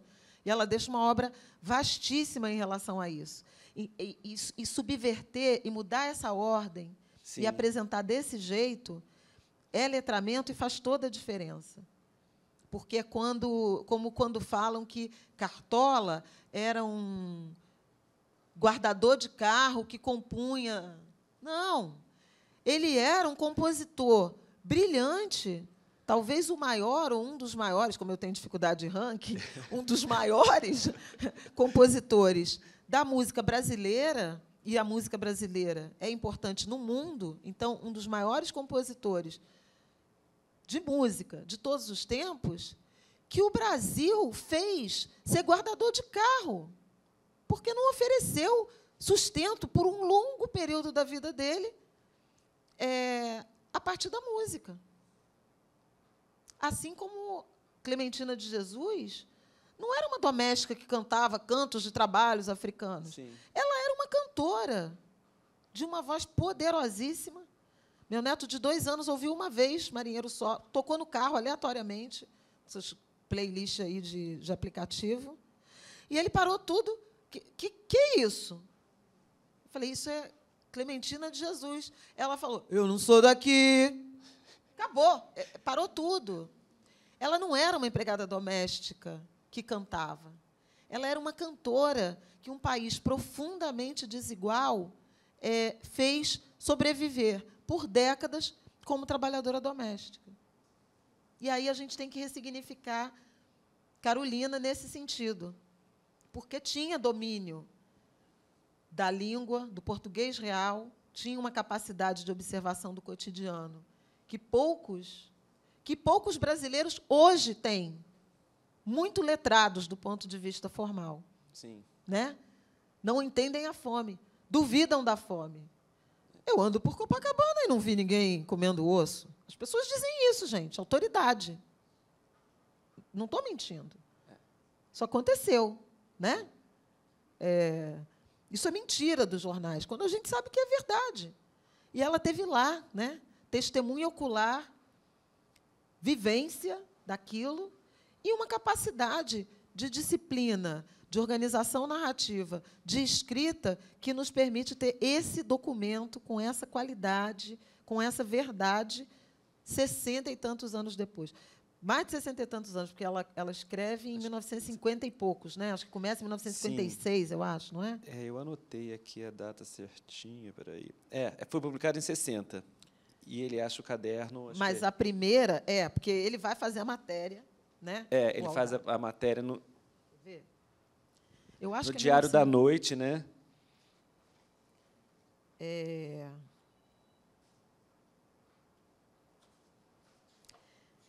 15 de julho de 1955. É a primeira coisa. Aniversário de minha filha Vera Eunice, essa que eu acabei de citar. Eu pretendia comprar um par de sapatos para ela, mas o custo dos gêneros alimentícios nos impede a realização dos nossos desejos. Atualmente somos escravos do custo de vida.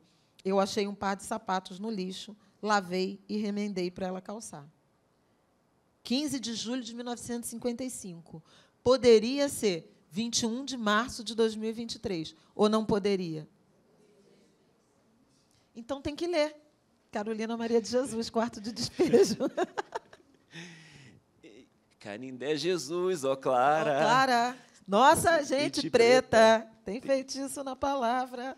É um Brasil Pronto, que não se Já cala. chegou a beija-flor. Porque esse samba, é, ele, ele, é, ele é irresistível, esse né? Samba é, esse samba é uma aula. Esse samba é muito impressionante. E aquele carro de vocês passando juntos, Conceição, com, é, foi muito emocionante. Lindo. Vestida de acadêmica. É. Fica a dica. É.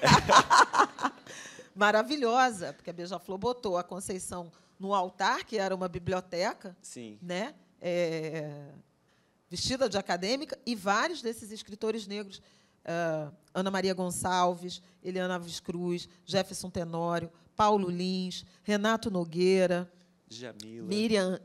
Djamila veio em outro, em outro ponto, mas eles vestidos de acadêmico. Ah, tá. Miriam Alves, vestidos de acadêmico, né, com um fardão estilizado, na frente desse carro. Muita gente não reconheceu, porque é o Brasil. Né?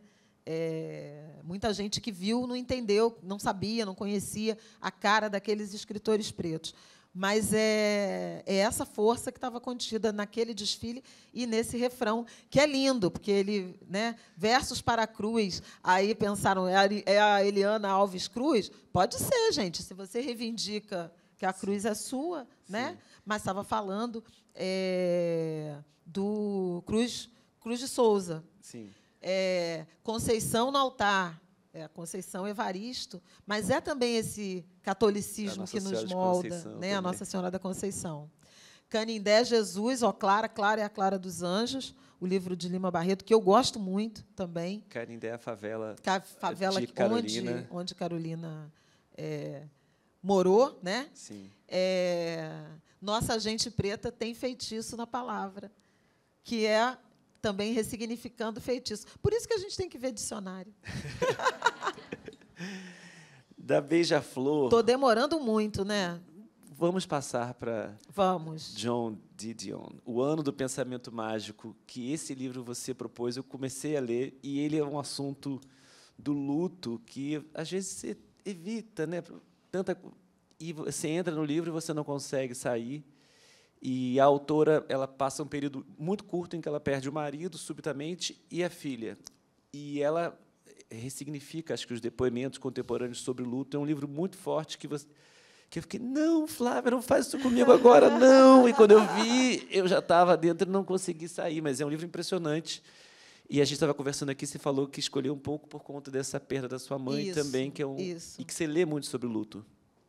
Eu leio muito, eu leio a partir daí, né? A, a, a Didion e o Ano Pensamento Mágico inaugura uma certa obsessão minha por eh, leitura sobre luto, sobre morte e tudo mais. Não fazia muito parte da minha vida e eu perdi minha mãe subitamente. A minha mãe era tudo para mim, né? Como eu falei, eh, eu cresci com ela.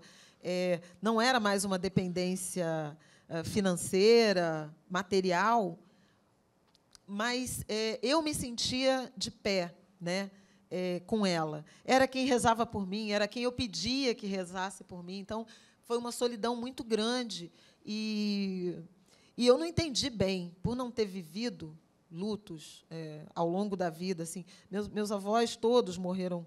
Eu era muito pequena, muito menina. Eh, não tinha a longevidade que tem hoje, né? a possibilidade de, de con- conhecer e conviver com as gerações mais, mais velhas. É, então, foi uma, uma grande perda para mim. Né? E ela morreu subitamente. E quem me deu a mão foi é, essa escritora com esse livro, porque ela, é, fundamentalmente, ela autoriza o, o luto. Porque as pessoas falam, ah, não fica assim, vai passar, ah, vamos. É, E o luto é uma coisa tão, tão forte, tão, tão violenta, né? É, você tem raiva, você tem medo, você tem às vezes alívio. E ela trata de tudo isso, né? inclusive na pesquisa histórica, mas no sentimento dela. Ela perde o marido subitamente e, e as coisas que mais me marcaram, que eram coisas que eu vivia muito no meu, no meu luto, que é você esquecer que a pessoa morreu. Né? Ela fala desse ano do pensamento mágico, porque é um ano mesmo, é, o primeiro ano de luto, é um momento em que você acha que aquilo não aconteceu, que algum milagre vai acontecer e que aquilo vai. E eu lembro assim de vários momentos disso. Domingo à tarde, eu sempre falava com a minha mãe, então de ter o ímpeto de pegar no telefone.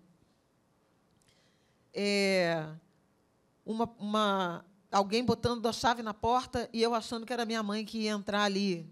E era impossível isso. Né? É, tem uma, uma, uma, um momento do livro que ela fala: eu saí para correr, não sei o quê, e voltei correndo para contar para ele, para o John, acho que é John o nome dele. E quando ela chegou em casa, ela lembrou que ele tinha morrido.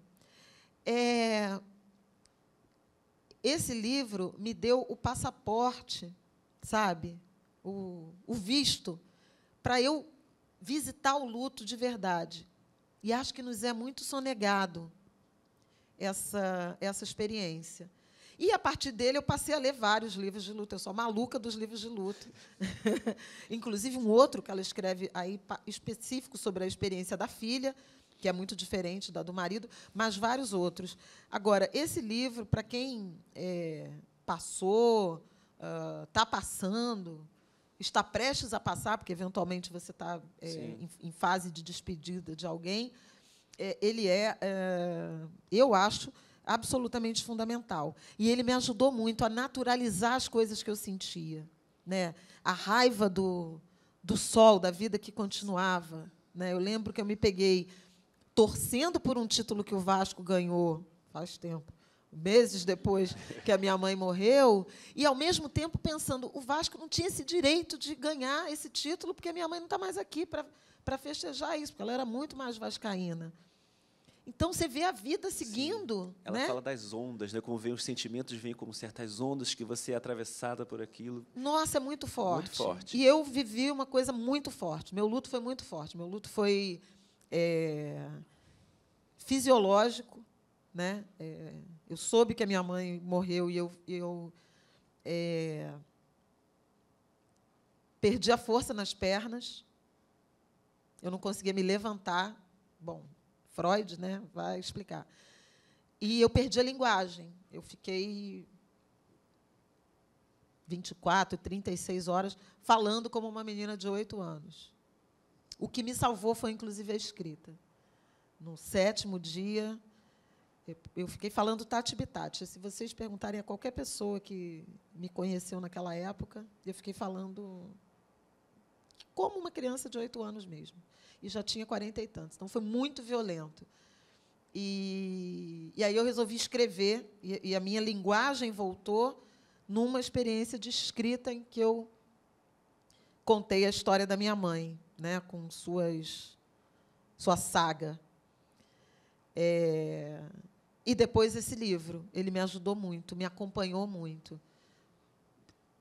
A, a, última coisa que eu acho que eu falei com você lá atrás e falo aqui agora é esse sentimento aí da, da mãe, né, do filho único. Então, eu, eu não tinha uma irmã para entender o que eu estava sentindo, porque é muito solitário, né? Ser filho único e, e essa orfandade porque eu vejo muitos irmãos que se reaproximam, né? É. A partir dessa experiência do luto, da doença, da família.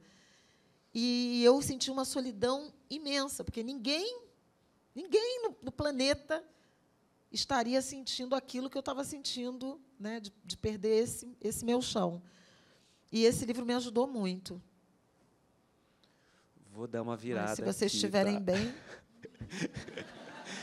vou dar uma viradinha, dar uma levezinha aqui, Vamos. tá? Ah, já que falei da minha volta aos oito anos de idade, é sobre isso. Aí, ó, Memórias de um Cabo de Vassoura, Origens Lessa, também da BL. Esse livro é divertidíssimo. Esse livro é divertidíssimo. Ele é muito bom. Eu já vou comprar para todas as crianças da família, não, porque não tem como eu não gostar. Eu fiquei com vontade de comprar também para deixar para o Mate. Ele ainda não está lendo, mas eu fiquei com vontade de dar. Quer, quer ler só o começo dele? Porque só o começo dele já é, tipo, você fala, o quê? Que maravilha isso. Eu é muito maravilhoso.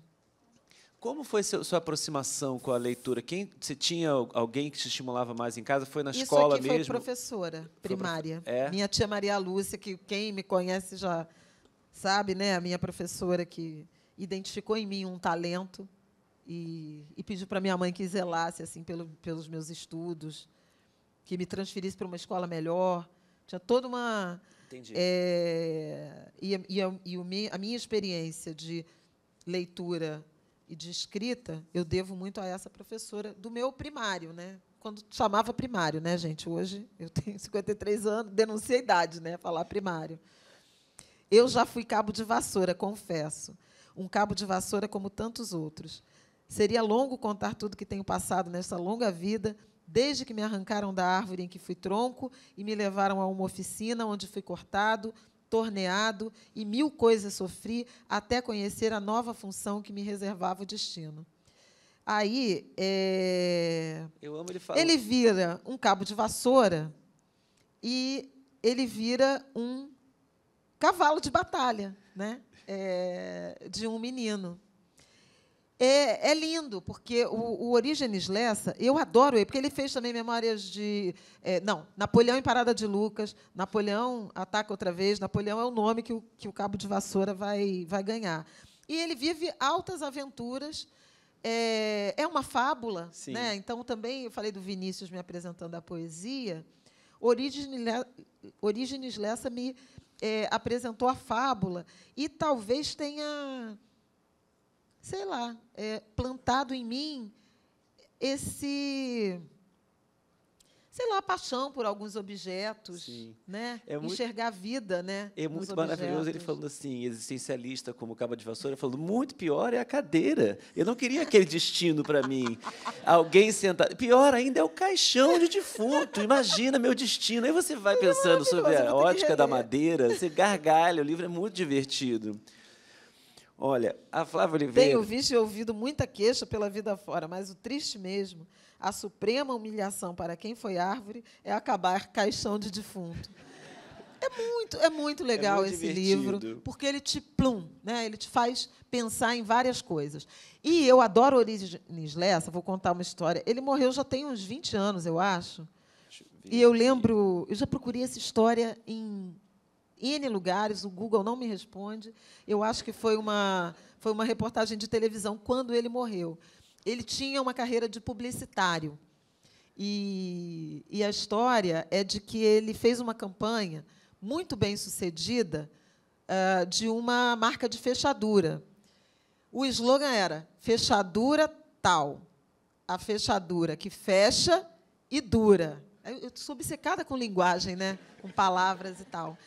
E aí, é, ele tinha um cliente, a agência né, tinha um cliente que achou aquela, aquela é, propaganda sensacional, aquele slogan, e queria um igual para uma marca de sabonete.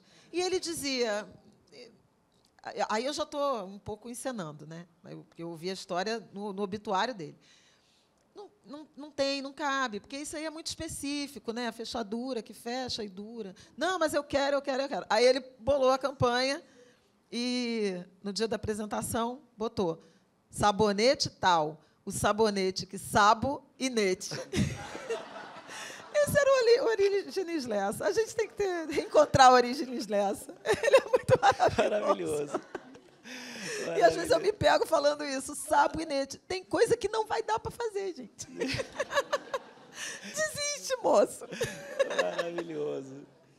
E, e, uma coisa que eu adorei também, que a Flávia, não, não satisfeita de ir nos 15, ela escolheu um livro de crônicas que tem Drummond, Fernando Sabino, Paulo Mendes Campos e Rubem Braga. Ela botou logo quatro em um aqui. Não tem mais isso, né? Não, não é, existe é, mais é, isso. É. Essa coleção era maravilhosa. Também foi leitura de escola. Isso aqui é maravilhoso, Chamava porque a, a seleção das crônicas são maravilhosas e você chega aos quatro de uma vez só. Eu entendi que era desse tempo de escola seu. É isso. Então, por isso, tá vendo? Foi uma coisa conjuntural, foi meio, né, é, a travessia de leituras que me influenciaram desde desde a infância. Memórias de um cabo de vassoura, sem dúvida. E, e a leitura de crônicas, que hoje é um, é um gênero também meio demonizado, né? É, ou desprezado. Eu não acho, eu ouço não. sempre eu, eu, eu o quero que a gente faça a sua disso. coletânea de crônicas, sim. Eu quero, mas nenhuma editora quer, diz que não vende. É ruim, hein? Vamos, vamos, botar, vamos, vamos soltar esse trechinho aqui que vamos ver se não vai. Faz um story. Vamos fazer um story. Um... Atenção, editoras, Associação Brasileira das Editoras, Ai. vai ter. Mas é muito legal. E tem uma que eu não sei se está nesse, que chama O Poder Ultra Jovem, que é a garotinha falando, quero lasanha. E o, e o, restaurante inteiro para. E o pai fala: Não, vamos comer um omelete. E ela: Eu quero lasanha, eu quero lasanha, quero lasanha. E aí, é, eu falo Poder Ultra Jovem até hoje, eu acho que essa é do Rubem Braga. E aí ele fala assim: Não, vamos pedir um omelete de camarão, maravilhoso. Se depois que a gente comer um omelete a gente ainda tiver com fome, a gente pede a lasanha, que é claramente o adulto negociando, né? Sim. E no final ela fala: comeu omelete, estava bom, estava bom, estava bom. Eu quero lasanha. E aí ele pede a lasanha e o restaurante inteiro vem abaixo. É! Finalmente! Vitória da lasanha. Mas isso, gente, nos anos 70, entendeu? E, e hoje o Martin é capaz de falar isso para mim. Quero lasanha, quero muqueca. Domingo a Isabela fez muqueca lá em casa porque o Martin pediu. A gente está totalmente dominada pelas crianças. Mas esse era o...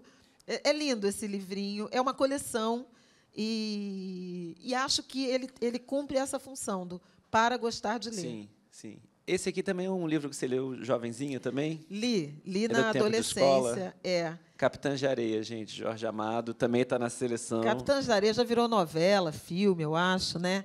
Mas também se relaciona. Eu tinha Círculo do Livro. Quem, quem é velho aqui conhece. Sim. Né? Você pagava uma mensalidade e recebia um livro. É, Pássaros Feridos, eu li assim, várias coisas dessa, dessa época. Devia estar aí o Encontro Marcado de Fernando Sabino também, que foi um livro importante para mim na adolescência. Mas eu quis Capitã de Areia porque ele me alcança na sensibilidade social que é marca minha, cidadã e é, profissional. Né? É, olhar os meninos de rua, né? É, as crianças abandonadas, é, com um olhar é, lúdico, amoroso, sensível, solidário, empático. Eu acho que, que Jorge Amado me, me emprestou isso na leitura de, de Capitães da Areia. É, por isso que eu quis que eu quis indicar, porque assim uma leitura uma leitura cidadã, né? Sim. É, Mar Morto também é um livro que me, que me comove muito. Mas aí, numa, por, por uma experiência escolar, de escrever uma, uma redação que foi muito elogiada pela professora e que talvez dialogue com a minha futura escolha de carreira, Sim. né? Mas Capitã de Areia não deixa de ser também isso, porque se você passa a a reparar, né, nos nas crianças na rua, o que está por trás, que histórias são essas? Eu acho muito bonito esse livro. Sim. Dos clássicos também, se trouxe Gabriel Garcia Ah, Marques, é. 100 anos de solidão. Eu gosto desse, gosto muito desse livro. e Esse aí é o traço de maluquice que eu esqueci de trazer para vocês, mas talvez eu, quando postar a nossa conversa, eu vou botar. Eu fiz um organograma da família, um- uma árvore Árvore genealógica. genealógica. E eu tenho até hoje ela dobradinha, porque as pessoas vão, são várias gerações, né? E aí eu ia organizando para organizar meus pensamentos e quem é quem. E eu gosto muito de pensar nos 100 anos de solidão, nessa literatura do Garcia Marques, que chamam de realismo fantástico, e que não é de realismo fantástico, é a nossa vida de eh, lidar com encantados, Sim. com o invisível, com o mistério e naturalizar isso, né? Então a literatura, a academia, talvez a intelectualidade chamou isso de realismo fantástico, mas isso é a vida da gente. Irajá é uma grande Macondo, né? É, por exemplo, isso, batizada na Umbanda e professora de catecismo. E cabe tudo isso, não, não tem é, contradição. Essas, esses fenômenos né, naturalizados, Sim, inclusive climáticos, Que estão no Jorge Amado também, que né? está no Jorge Amado, sim. É, Eu achei lindo quando vi você falando isso, de que não, o realismo fantástico é essa, um pouco da nossa espiritualidade expandida. Eu achei esse conceito lindo de pensar assim, da- do povo latino ver dessa maneira, de alguma maneira. Exatamente. Eu acho assim, é, é fundamental. E eu lembro da Miriam Alves, poeta, escritora, falando isso aqui, nesse palco. Ela falou: não é, é, ficção, é, é real, não é doença, e muita gente adoece por isso. É, se alguém passa na rua e fala comigo, estou vendo o, um caboclo te acompanhando, e ela fala, muito obrigada, e eu vou lá e vou fazer obrigação para o meu caboclo que está me pedindo algo. Aham. E, eventualmente, alguém vai achar que aquilo é loucura, vai internar e vai medicar essa pessoa, que está efetivamente vendo o invisível. Sim. Né? É, E eu acho que essa literatura contém esses elementos que precisam ser naturalizados. A gente não é maluco, a gente vê caboclo mesmo. Vê Exu, vê Herê, vê, Sim. vê gente, vê o invisível. See that people. Né? Que nem- vê a avó, né? ouve a avó falando. Nossa, nem fala. Isso é tão bom, né? Eu, eu adoro, por exemplo, quando sonha, a minha irmã fica assim, vovó gosta mais de você, só você sonha com vovó. e ela fica, não é mãe de nada, não. Mas é engraçado, porque essa coisa de, de presença de você, dos que foram, por exemplo, de você, aquilo ser uma família expandida, de que você, de- em alguma instância, acesse e É. aquilo está no seu cotidiano, é fantástico, mas não, mas não é, é a vida real, é, é real, real. da gente, para mim, pelo menos. Não é fantástico, é É. natural. Né? É, Eu tenho um marido branco, ele tinha muita dificuldade de entender isso, em que pese o fato da mãe dele, minha sogra e tal, também ter seu pé na Umbanda, frequentava uns terreiros e tal, mas o Éden é muito, ou costumava ser, né? muito é, racional. E eu tenho uma ligação muito forte com entidade de rua, com o Exu, principalmente, que me aborda na rua. E eu me sinto bem, protegida. E, e, em várias vezes, quando aconteciam desses encontros, ele falava assim: não é possível, tu contratou essa pessoa para me perturbar aqui, porque isso não é, não pode ser normal. É normal. E agora ele já fala assim: Ih, lá vem a Exu aí, é contigo. É, porque senão você vai sair correndo, né? É, e tem um recado ali que está rolando, que você precisa pegar esse recado Sim. e fazer alguma coisa dele. Sim. Então não é realismo fantástico, é a nossa vida real. Vamos lá. Lígia Fagundes acabando. Teles, Ah, As Meninas. Então, esse aí, é... adoro esse livro. E esse livro é mais ou menos que nem o, o Capitães no sentido de um empoderamento feminino. E até a Lia, né, que é a figura política mais aguerrida, ela me inspirou muito, essa personagem.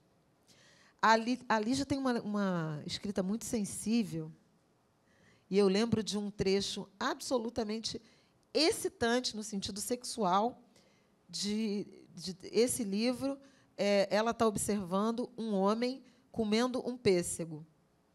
E, e, e ele passa o pêssego né, aveludado e a forma como ela foi construindo aquela cena, sabe?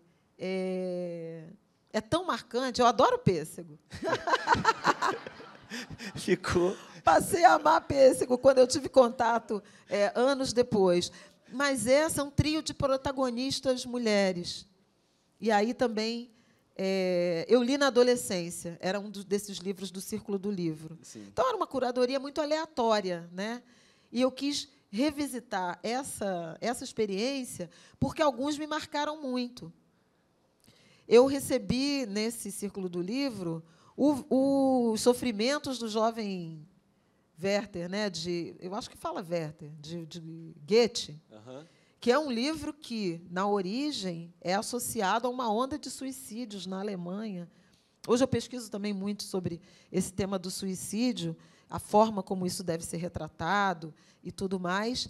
E tem a, a origem do mito, do tabu da, da cobertura de suicídio na imprensa, tem muito a ver com esse livro. Foi um livro que me chegou pelo círculo do livro. Imagina esse livro, Jovenzinha, né? recebendo esse livro. Mas eu fiquei com Capitães da Areia e, a- e as meninas da Lígia Fagundes Teles. Não, não, não, não embarquei no, no Goethe. Mas é, é, eu, eu- trouxe essa lembrança porque era uma curadoria aleatória e isso embasou muita produção acadêmica e jornalística em razão do efeito que aquele livro podia ter trazido. Então, o livro tem efeito, né? Sim, sim. efeito concreto de acolher, de amedrontar, de assustar. Por isso é tão importante a diversidade, né? Por isso é tão importante você ler livros de mulheres negras, Sim. de homens negros, de homens brancos, de mulheres brancas, de estrangeiros, né? Trazer essa Essa diversidade, Essa de diversidade. assuntos e pontos de vista. É, Essa questão, voltando à Conceição, é, de ter entrado na Eliana, ela me trouxe também Clarice Fortunato, que são relatos de histórias que eu não chegaria se não fosse a indicação dela. Por isso que também eu tenho tentado tanto trazer mulheres eh, pretas que tragam livros de uma literatura que não está eh, estabelecida, porque esse da Clarice Fortunato é de uma é um casamento interracial em, em Vitória, que eles vão ser camponeses no sul. E o pai morre e ela vai viver uma situação de rua. E é uma escrevivência de situação de rua que vai ser dou- eh, mestrado depois na faculdade. E ter aquilo tudo ali é, uma- é um relato assim comovente muito que vai forte, que- né? é e que a gente precisa ter contato com isso porque são histórias realmente a história que a história não conta a gente está começando a se dar chegar dá a essas conta disso, se dá é, di- é. conta disso e precisa que a gente, eu quero ouvir essas histórias que não chegariam não chegou não, não estão no círculo do livro daquela época que esteja no círculo do livro contemporâneo de alguma Isso, maneira né Isso. Bom, é o que a gente está fazendo é o aqui, que a né? gente está fazendo E a Conceição, quando ela traça aqueles paralelos da, da, da Toni Morrison Sim. com a Carolina, né? Sim. com a linguagem dos pretos, sim nossa, eu achei aquilo tão incrível. Ela fala, ah, eu não li em inglês, mas entendo que ela estava reproduzindo aquela linguagem. Então, é tática, né? é estratégia de construção literária, que é o que ela defende em relação à Carolina. É muito bonita essa, essa, esses atravessamentos, né? sim temos mais dois Truman já Capote tamo em 27. já estamos não agora Que que Truman é? Capote e Ian McQueen Ah, eu adoro o Ian. Eu já li vários Sábado. livros dele. O Sábado não é dos mais famosos, né? O mais famoso é Reparação, né? Que virou até o filme e que realmente é a obra-prima dele. Mas eu acho Sábado e ele tem uns livros assim que passam num, num dia. Nesse caso não é num dia, né? É, mas é um dia marcante que a posteriori você diz, você sabe que mudou a sua vida por completo e foi um profundo mal-entendido. Esse livro é um livro fabuloso sobre um mal-entendido, sobre um desarranjo de um casal que não se comunicava bem e que pôs tudo a perder. Ele me, ele me desperta uma melancolia imensa. Porque, sabe assim, era para estar tá tudo bem. E, de repente, esse copo veio para cá, esse aqui veio para cá, e tudo degringolou. Não é um copo, é, uma, é, uma, é, um, é uma, uma, um sentimento, é uma, uma, um episódio, uma cena é, objetiva. Mas que, a partir dali, aquilo provoca um afastamento. E, de vez em quando, você não passa por uma sensação dessas, assim, de caramba, por que mesmo que eu me afastei de fulano? Sim. Né? É, eu acho que ele traz uma literatura que não tem absolutamente nada a ver com mitos, ritos, é, realismo fantástico e tal, mas que me despertou para essa coisa de, putz, se eu não tivesse falado aquilo naquele dia, naquela hora, entendeu? Se eu não tivesse é, dado ou negado aquele beijo, tudo podia ser tão diferente. E é um pouco é, o inventário de uma vida a partir de um, de mal entendido num sábado. Uma torturinha, né? Um é, pouco. mas assim, é. Ficar, é uma, é uma torturona. É, porque você fica. Eu, essas coisas que E se, para mim, eu, eu tento sempre me livrar do e se, porque. Pô, mas ele dá, ele dá aquela. Hum, puxa. Sim. Sabe? Se tivesse atendido aquele telefone. Não é isso, é, um, é uma, uma, um, um caso objetivo, até envolvendo uma relação sexual. Mas, putz, ele entendeu uma coisa, ela entendeu outra, e a partir dali é como se fosse um terremoto. Sim. E abriu-se um abismo que não foi. Eu acho. Ele é muito genial. Ele é um dos melhores escritores. Eu adoro o Ian Sim. McEwan. Adoro. É, e, por fim, aí é a jornalista. Tem do... É engraçado que você fez uma divisão tão diferente. De, de ordem. De ordem, é. Porque eu pensei o o Chico, o dicionário e o a Sangue Frio ah. como esse pacote meio a jornalista. Entendi. Né? E o A Sangue Frio eu, eu, talvez seja o melhor livro jornalístico que eu, que eu já li. Né? É, ele virou um filme também, excelente, que rendeu o Oscar, eu acho, de melhor ator, roteiro adaptado, eu acho. Enfim, ganhou um caminhão de prêmios. É incrível o, o filme, mais o livro, e é um livro reportagem, um exemplar assim é, perfeito do, do que a gente chama do New Journalism americano, né? que é uma forma diferente de contar as histórias é, humanas. Guetalise é um, é um expoente, mas o Truman Capote é, ele faz um mergulho a partir de um crime e ele vai entrevistar, reconstituir a história desse crime e entrevistar um assassino, mas um, um assassino violentíssimo, sanguinário, que ele humaniza, com que ele se envolve, com que ele se preocupa, com quem ele vai é, é, de, de, desenvolve uma uma relação que atravessa a vida. O cara é condenado, vai ser condenado à morte. É, à morte. É uma história incrível. E a forma como ele escreve essa história, sabe? É um jornalista é, algo despido de, de moralidade, no sentido. É, do, do, do, julgamento, né? De... Do julgamento, exatamente. Né? Ele se despe é, do, da moralidade do julgamento para entender quem era aquele ser humano que cometeu esse crime. E, em algum momento, ele é seduzido por essa figura. Então, assim, é o jornalista na essência e depois a, a travessia da, da fronteira que não devia ser é, atravessada, né? É muito interessante, é muito bom esse livro. E o filme é muito bom também. Quem não tiver saco de ler o livro, busca o filme, porque o filme é muito bom e bastante. Eu gosto de ver filme que eu li o livro. Até... Reparação é um que eu li e eu não, não gosto tanto do filme. Sobre Meninos e Lobo é um que eu acho muito impressionante.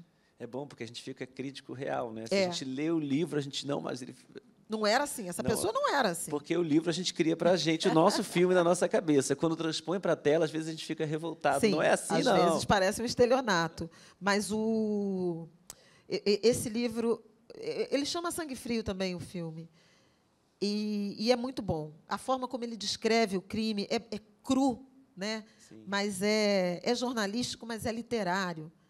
Né? A- a- as descrições muito bem feitas, muito bem elaboradas, dá um orgulho danado de estar na profissão. Então, esse bloco é, do, do Truman Capote, por esse livro-reportagem, o dicionário, né, por essa, esse dever de lealdade com ah, a língua, e o Chico, pela, pela história documentada, eu acho que são é, obras que, que,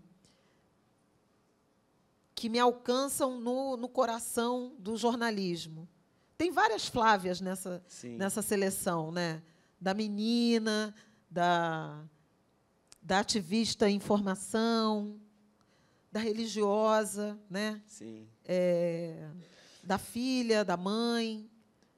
Mas todas uma Flávia que tem um compromisso a partir da palavra, né? É, É, acho que uma coisa que você falou por alto no Mano Brown é que é quase é, uma missão, né? É a partir da palavra que você se comunica, que você muda o mundo. é uma acho que- missão. A minha missão religiosa é comunicar. Então, assim, eu levo muito a sério essa missão é, de comunicar. É, eu, eu preciso ser mais clara, no sentido da clareza. mais preta e mais clara. Cada vez mais preta e cada vez mais clara. Mas porque é, eu soube da minha missão religiosa em comunicar. E isso é muito tranqui- tranquilizador. Embora é, conhecer a própria missão seja muito desafiador, possa ser um, um fardo, né, uma responsabilidade imensa, por outro lado, é tranquilizador, porque você entende o que, que eu estou fazendo aqui. E você resiste às mudanças bruscas, né? Sim. porque não necessariamente é, é sobre ter que mudar, ter que- uma guinada. Aí alguém me chama para fazer outra coisa, para ser chefe, para ser política, para entrar na, na academia. Não, mas eu é minha missão com muita tranquilidade, né?